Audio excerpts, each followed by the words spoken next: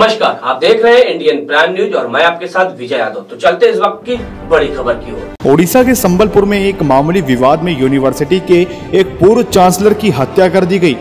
खबरों के मुताबिक सौ रुपए के विवाद में पूर्व उपकुलपति को मार डाला गया। संबलपुर यूनिवर्सिटी के पूर्व वाइस चांसलर ध्रुवा राजनायक को बदमाशों की दबंगई का शिकार होना पड़ा। जार सुगडा के एसपी बीसी दास ने कहा कि सौ रुपया न देने पर आरोपियों ने नायक के घर में धावा बोल दिया। उन पर कुलाड़ियों से हमला किया और घटनास्थल से फरार हो गए। लहूलुहान नायक ने कुछ देर बाद ही दम तोड़ दिया। पीड़ित परिवार का कहना है कि गाँव के लोग उस वक्त घर में घुसे जब तिरासी साल के नायक घर पर नहीं थे।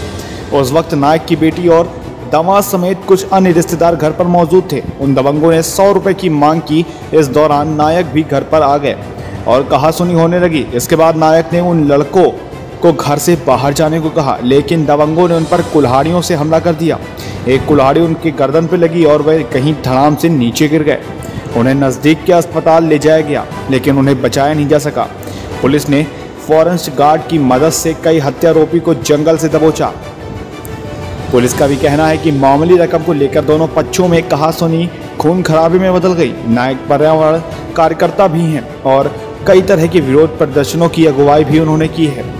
लेकार पुलिस स्टेशन की पुलिस हत्यारोपी से पूछताछ में जुटी है ताकि घटना की पूरी वजह सामने आ सके। Bureau report, IPN.